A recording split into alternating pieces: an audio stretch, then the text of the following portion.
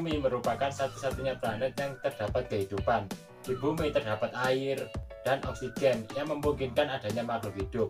Suhu di bumi tidak terlalu panas dan tidak terlalu dingin karena adanya atmosfer yang melindungi bumi dari sinar matahari. Bumi adalah planet ketiga dari 8 planet di tata surya. Sekarang bagaimana bentuk bumi? Mari kita cari tahu. Ada banyak bukti yang dapat dihadirkan dan menunjukkan tanda-tanda bahwa bumi kita itu memang bulat. Pertama, perhatikan kapal di pelabuhan. Saat teman-teman berdiri di pinggir laut atau di pinggir pelabuhan, lalu perhatikan kapal ketika mau belayar dan ketika akan berlabuh. Apa yang teman-teman dapat lihat? Ya, ketika sebuah kapal berlayar ke arah laut lepas, benda itu bukan sekedar terlihat semakin kecil hingga tampak seperti sebuah titik. Bagaimana ketika datang berlabuh? Ketika sebuah kapal bergerak sebaliknya dari laut dan mendekati pantai, maka terlihat proses sebaliknya. Pertama, tiang-tiang muncul dari cakrawala, lalu badan kapal itu ikut terlihat. Bukti kedua adalah pada saat gerhana bulan. Bentuk lengkungan atau kurva gerhana bulan itu terlihat dalam semua kejadian gerhana bulan. Walaupun bumi berputar, dengan mengamati gerhana bulan, kita bisa melihat bukti bahwa bumi itu bulat. Ketika terjadi gerhana bulan total, biasanya keseluruhan bulan akan terlihat seperti memiliki warna merah keorenan. Hal itu terjadi karena bumi berada di antara matahari dan bulan, menyebabkan bayangan bumi jatuh sepenuhnya ke bulan. Nah, jika bumi itu datar, maka bulan tidak akan sepenuhnya memiliki warna merah keorenan. Bukti ketiga, saat kita naik gedung tinggi, kita akan merasakan bahwa semakin tinggi kita pada ketinggian gedung, semakin jauh juga pandangan kita. Hal ini terjadi karena bagian yang sebelumnya terhalang di pandangan kita akibat bentuk bumi yang bulat jadi terlihat karena posisi kita bertambah tinggi. Berdasarkan bukti-bukti tersebut, apa yang teman-teman dapat simpulkan mengenai bentuk bumi?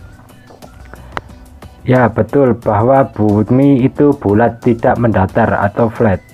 Namun bumi tidak bulat sempurna, melainkan lebih ke bentuk elips.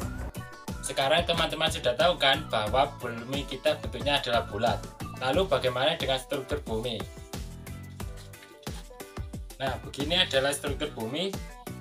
Struktur bumi dibagi menjadi tiga bagian, yaitu bagian kerak bumi, mantel bumi, dan inti bumi.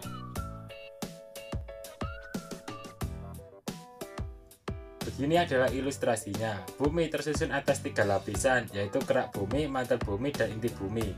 Kerak bumi adalah lapisan terluar dari bumi, terdiri atas lautan dan daratan. Bagian ini berbentuk padat. Pada lapisan ini terjadi pelapukan batuan menjadi tanah. Ketebalan kerak bumi berkisar antara 6 hingga 70 km. Nah, di, di bawah kerak bumi ada bagian yaitu mantel bumi atau disebut selubung bumi. Lapisan ini juga disebut asenosfer. Ketebalannya berkisar 2900 km. Bagian terdalam dari bumi adalah inti bumi, di mana inti bumi dibagi menjadi dua, yaitu inti luar dan inti dalam. Inti luar bumi memiliki ketebalan sekitar 2000 km, suhunya kurang lebih 2200 derajat Celcius. Inti luar bumi merupakan lapisan dalam bentuk cairan. Lapisan dalam bumi berbentuk seperti bulan dengan diameter 2740 km. Suhunya mencapai 4500 derajat Celcius. Inti dalam ini adalah lapisan paling panas dan merupakan pusat gravitasi bumi. Lapisan inti bumi terbentuk dari besi, nikel, dan zat lain. Ketiga lapisan tersebut merupakan lapisan utama struktur bumi.